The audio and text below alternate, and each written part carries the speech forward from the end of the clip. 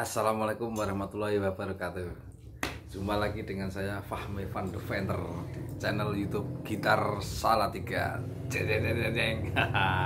Oke teman-teman pada kesempatan kali ini uh, saya akan sedikit memberikan review singkat mengenai gitar custom, gitar homemade, gitar palsu, gitar bajakan, terus gitar apalah kita terserah kalian menyebutnya apa. Yang pasti gitar ini memiliki kualitas yang sangat bagus ya. Nah ini uh, langsung saja. Kali ini kita uh, ini produksi sendiri ya. Ini gitar ini kita kasih label Taylor nah karena karena headstock ini kita uh, ini merupakan replikanya dari gitar Taylor ya produk produk Taylor ya gitar ini merupakan gitar uh, termasuk tipe custom yang premium quality ya. Kenapa bisa dikatakan premium quality? Nah mari kita bahas detail satu persatu ya. Uh, santai aja ya teman-teman ya karena saya juga uh, barusan pulang dari luar kota makanya sambil-sambil ngerokok-ngerokok boleh mau yang ngopi-ngopi juga boleh. Pokoknya kita sharing-sharing nggak usah tegang nggak usah panik. Kalau anda teman-teman semuanya bingung masalah masalah dunia pergitaran bisa interview dengan saya langsung di kolom komentar ya. Sebelum saya melanjutkan video kali ini tolong jangan lupa like subscribe supaya channel saya bisa berkembang dan saya akan lebih semangat lagi bikin konten-konten terbaru ya. Iklan dulu ya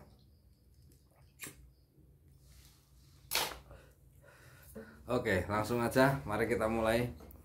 Uh, pertama, gitar ini, gitar ini terbuat dari bahan kayu meranti. Nah, kayu meranti itu kayu lokal dari Indonesia ya.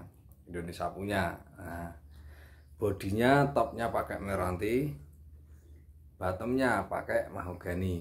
Nah, setnya ini pakai kayu mahogani, tetapi ini mahogani tipikal yang double side ya. Kemarin saya sudah bikin video tentang perbedaan gitar single set dan double set ya. Nah, ini merupakan yang karakter tipe double set ya. Double set ya. Ya. Double set ini jadi ini kokoh ya, kuat, tidak mudah pecah. Nah, sedangkan bridge-nya ini ini terbuat dari kayu yang sangat bagus yaitu uh, rosewood ya. Yang kayu yang dipakai untuk gitar-gitar original itu ya. Nah, sudah dilengkapi dengan les ABS binding penguat. Ya ini. Full body depan dan belakang. Nah terus uh, motifnya. Nah ini merupakan motif batik ya. Flower. Nah ini mungkin rekan-rekan semua wah kok gitarnya bagus amat mas. Nah ini ini bukan hanya stiker ya tapi kita tanam di dalam cat ya. Jadi cat baru kita pasang uh, stiker ini baru kita tempel clear. Jadi ini tidak bakalan kelotok ini. Mungkin sampai gitarnya rusak ini macetnya masih stikernya masih oke. Okay.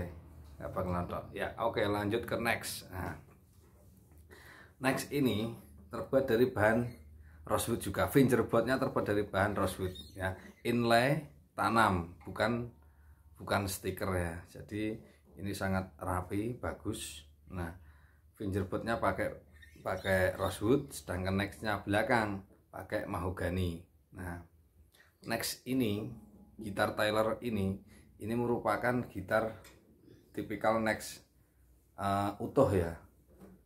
Tanpa sambungan. Biasanya makan di sini tuh ada sambungan nih satu sama sini. Nah kalau ini dari bawah sampai ujung sini dia utuh tanpa sambungan. Jadi tidak mudah patah. Kalau jatuh tidak mudah patah. Nah itu kelebihan gitar custom ini ya. Nah terus uh, trasrut juga ini sudah double action ya.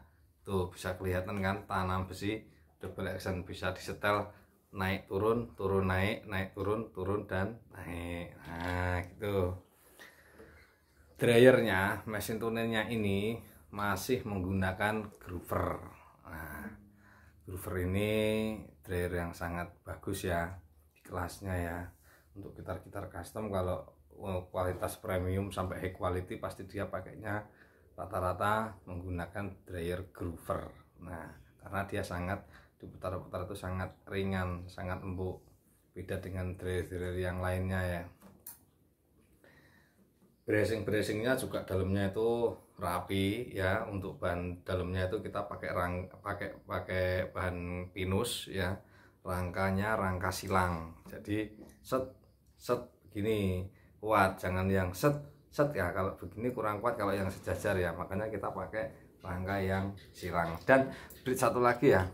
Bridge ini kita tidak menggunakan baut ya. Nah teman-teman jangan salah ya. Kadang ada yang e, mengatakan perbedaan gitar ori dan custom apa bang? Mas. Ada yang minta wah ini ada bautnya berarti dia bukan ori. Salah ya. Sekarang gitar-gitar custom sekarang itu kebanyakan juga kalau saya kalau kita memproduksi ya gitar salah tiga ini ini kalau yang kayunya sininya bagus pasti kita sininya juga press tanpa baut apakah kuat? Sekarang pertanyaan gitu. Nah masalah kekuatan kita standar pakai senar 010 ya diameter ya. Kalau teman-teman memaksa pakai yang 012 ya mungkin saya tidak bisa menjamin keawetannya. Tapi kalau misalkan ini standar dari saya dari kami kita mengeluarkan produk ini membuat produk ini kita memakai senar yang 010 nah kalau selama pakai senar ukuran 010 mau disetting di setem standar saya kira selama ini tidak ada permasalahan ya dan oke okay. nah inilah penampakannya ya nah, finishingnya finishing glossy ya jadi kelihatan kempling nih nah kalau yang perempuan pasti suka nih karena bisa buat ngaca nih nah gini nah, ngaca nah, habis gini ngaca dulu baru gitaran sama temen-temennya oke okay? gimana suaranya mas? Nah, langsung aja. Sebelum kita mainkan rokok dulu ya. Santai aja. Ini untuk khusus pemula aja ya. Yang suka silahkan like komentar. Yang tidak suka juga tidak masalah. Abaikan saja oke? Okay? nah. Nyaring apa enggak sih suaranya sih? Ini menggunakan senar 010 Diadario Unpack ya Rainbow Pelangi. Nah seperti ini.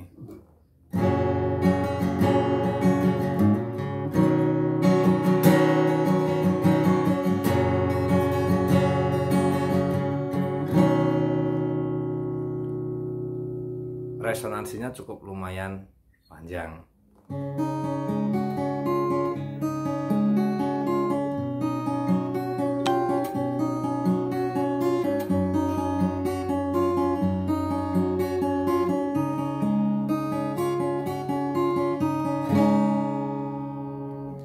intronya aja ya.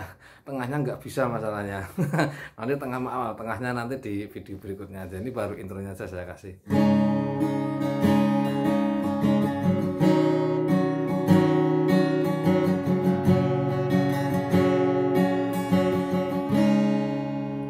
Sekarang untuk fingerstyle fingerstyle enak apa enggak bang? Mas? Nah menurut saya gitar ini lumayan. Karena uh, nextnya ini uh, ukurannya ukuran uh, gitar melodi ya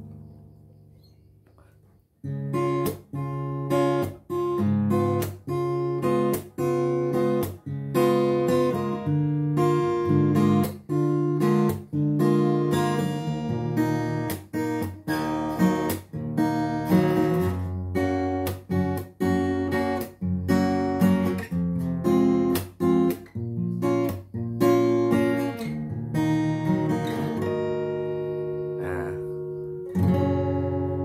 tetapi uh, karena saya itu gitar ini kita jual itu uh, untuk uh, supaya penampilannya bisa lebih estetik. Itu kan memang sengaja kita kasih rainbow ya. Nah, kayak gini ya. Nah sebetulnya kalau ingin mendapatkan suara yang lebih bagus dan uh, bassnya lebih kelihatan itu uh, nanti bisa kita upgrade ke senar yang lebih bagus ya dan free tanpa biaya. Nanti saya kasih bonus senar ORP 010 ya. Senarnya cukup bagus. Kalau ini menurut saya uh, kurang ya. Kurang kurang. Kurang bagus menurut saya. Teman uh, dari dari secara fisiknya kan kalau kita pakai rainbow gini kan gitarnya lebih kelihatan estetik ya. Nah, lebih cantik gitu ya. Gelis ya. Hmm, seperti ini mengenai suara, sampel sound, review singkat tentang spek body gitar ini semua sudah saya terangkan. Jika Anda mau pesan juga boleh di tempat kami, bisa langsung uh, eh, WA secara gratis. Kok nomor WA saya ada di link komentar ya, di deskripsi juga ada. Uh, kalau yang mau melalui via Shopee juga silahkan link Shopee kami juga sudah ada di deskripsi ya terus habis itu uh, mengenai eh, hal-hal uh, yang berkaitan dengan uh, gitar ini untuk upgrade. Misalkan upgrade mesin elektrik mau pakai preamp Fishman mau pakai preamp EQ745 mau preamp Kobe mau preamp apa pun kita ready dan kita siap untuk memasakkan ingat sebelum membeli eh maaf maaf sebelum kalian sebelum kalian membeli review di Instagram kami follow Instagram kami di gitar underscore salatiga. Satu lagi sebelum kita kirim ke tempat anda gitar ini nanti pasti sudah saya setting senyaman mungkin secaper mungkin seenak mungkin seempuk mungkin sehingga kalian di rumah tidak perlu setting-setting pusing lagi ya. Mungkin sedikit itu review singkat dari saya mengenai gitar Tyler custom ini ya. Nah semoga bermanfaat. Semoga kalian juga berminat. Yang like dan subscribe saya doakan rezekinya banyak dapat uang bisa beli gitar di gitar salah tiga oke thank you. Selamat beraktivitas. Assalamualaikum warahmatullahi wabarakatuh